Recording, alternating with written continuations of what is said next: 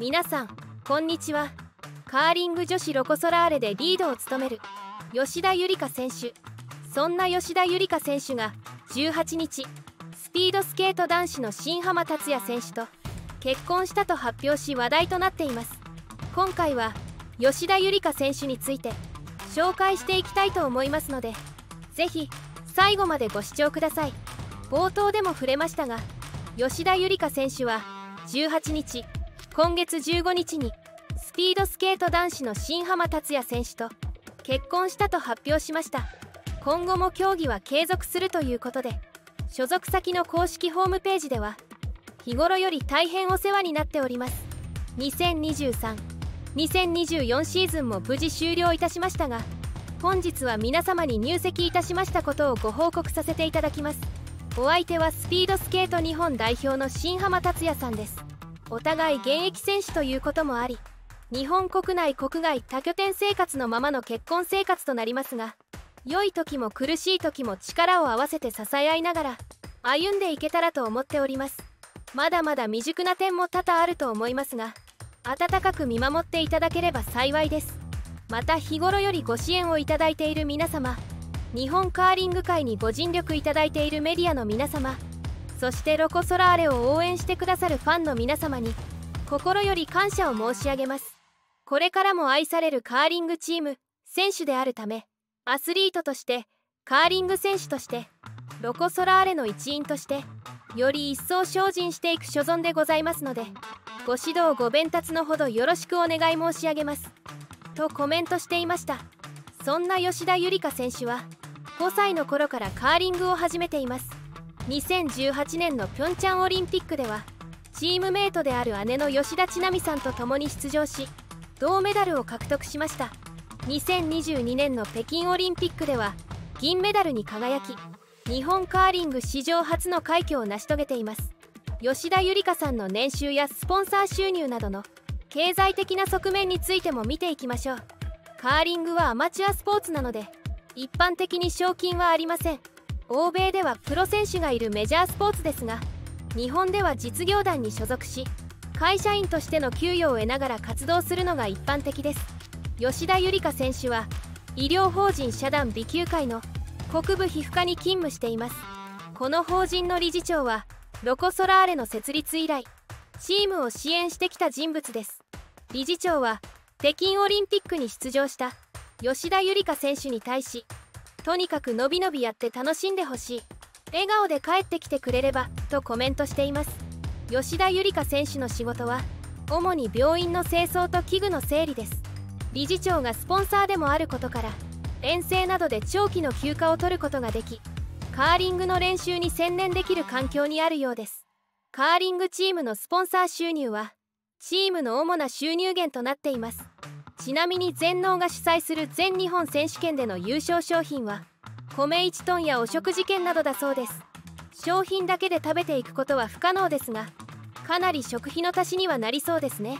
ロコ・ソラーレは30社以上とスポンサー契約を結んでいます。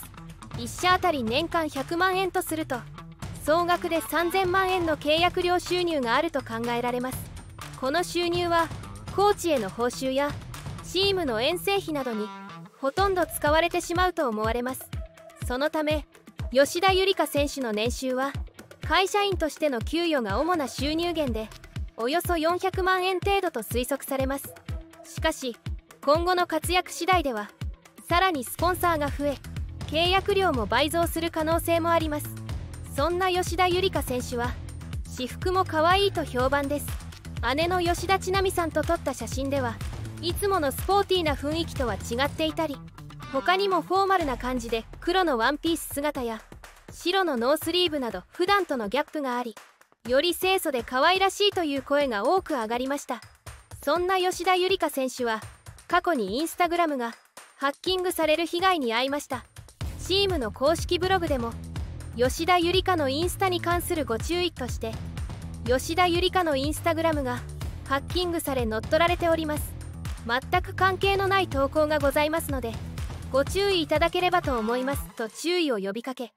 姉の吉田知那美さんもゆりの大切なインスタが乗っ取られてしまったとのことで今マネージャーさん含め対応しているそうです。皆さんメッセージで知らせてくれてありがとう。と心配の様子を見せるとともに感謝していました。また吉田夕梨花選手は家族とも仲が良いそうです。吉田夕梨花選手の実家は北海道の北見市にあり5人家族です。母父姉の吉田千奈美さんのほか長女のお姉さんもいて義理の兄にはカーリング選手の松村雄太選手がいます。また父親はホタテ漁師ということで高収入であることがうかがえます。北海道のホタテ漁業は水揚げ量が安定していて単価も高いため漁師の年収が高くなる傾向があります。子供時代の吉田夕梨花選手もホタテの作業場で父親の手伝いをしてしっかりとした額のお給料をもらっていたそうです。母親の富江さんは元カーリング選手で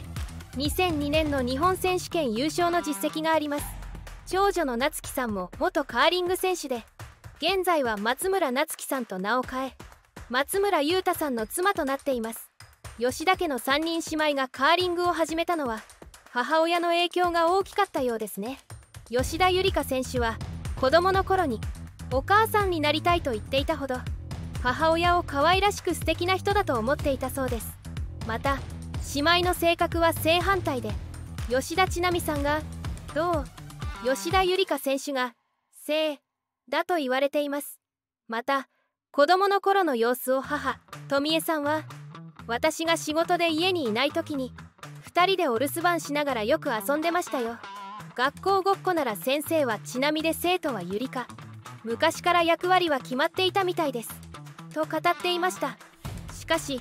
2人とも一途で自分で決めたことはやり抜く強さを持っているようです。姉妹は幼い頃からずっと一緒にカーリングをしてきましたが2010年に別のチームで活動することになりました。吉田夕梨花選手は姉の吉田知奈美さんが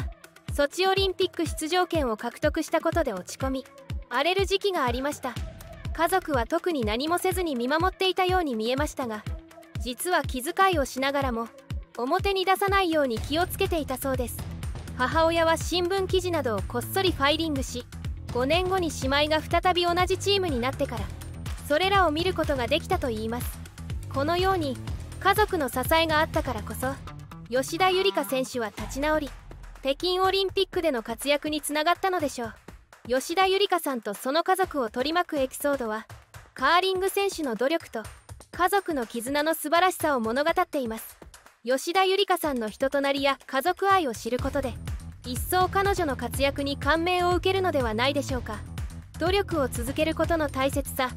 家族の支えの尊さなども教えてくれる吉田家のストーリーは多くの人に勇気と感動を与えてくれるはずです。スポーツ界のスターでありながら地道な努力と素朴な家族愛を忘れない吉田夕梨花選手。新婚生活でも家族愛を大切にされることでしょう。これからも活躍が期待される吉田夕梨花選手の今後の動向から目が離せませんね。最後までご視聴していただきありがとうございました。コメントを残してくれると嬉しいです。チャンネル登録高評価もぜひお願いいたします。それではまた。